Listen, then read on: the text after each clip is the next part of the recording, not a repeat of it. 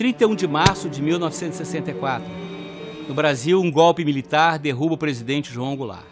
O mundo se dividia entre dois blocos antagônicos, o capitalista e o socialista.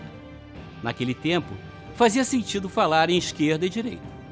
Temerosos com a possibilidade do Brasil se tornar um país comunista, os militares saíram dos quartéis para tomar o poder.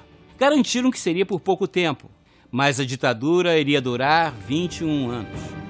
Naquela época, o povo brasileiro estava dividido.